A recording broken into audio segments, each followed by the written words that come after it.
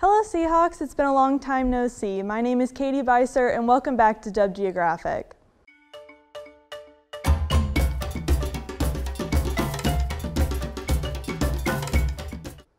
For all of you Dub Geo fans out there, you may have been wondering where the show has been for the past semester.